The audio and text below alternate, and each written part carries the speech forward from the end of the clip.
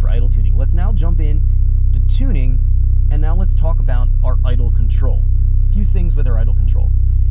Engine functions, let's go to idle speed control. Now, in our main idle target table, we are targeting here between 50 60 Celsius. We're targeting roughly 1,900, should be about 950 for the target. In looking at this, we actually can see here 940 for the target.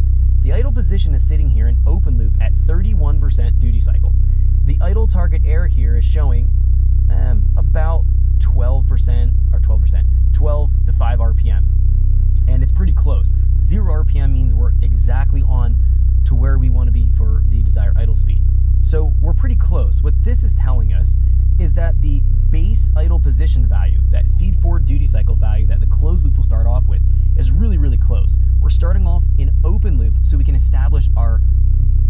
percentage duty cycle values at various different RPM targets.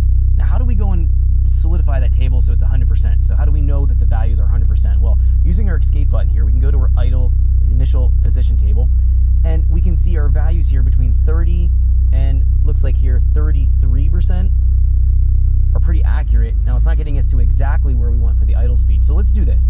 I'm gonna go in and start to bring my idle speed down.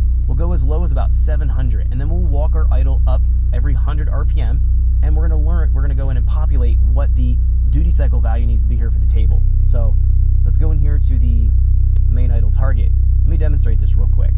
To make this really easy, since we're on a warm engine right now, I'm gonna highlight all this and I'm gonna set it as low as 700. Now, I want to idle as low as 700. If we take a look, the idle RPM here is at roughly 840, 850. We can see the target here is 700, and we're about a uh, negative, uh, 150 RPMs too high.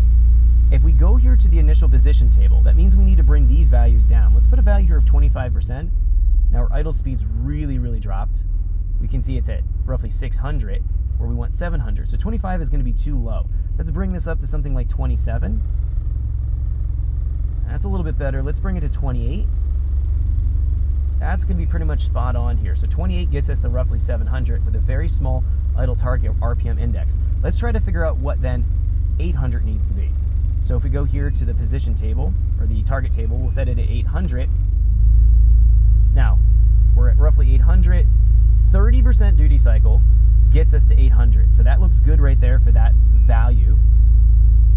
We're going to go here and try 900 now. Let's go to set our position target table here at 900. At a 900 RPM target, we are not going to get there yet. We need to go and bump up this duty cycle. We're about 60 RPM off. So if I go here and I put it at something like 31% duty cycle, gets me closer. 32 is probably going to get me spot on. Thanks for checking out our teaser clip. If you want to see the rest of this video and more than 500 hours of current EFI training we have to offer, make sure you click right here. If you want to go and check out more teaser clips from this training course, click here. And you don't want to miss any of the videos we're going to be releasing on this channel, so make sure you subscribe and click here. Thanks for watching, and I'll see you guys later.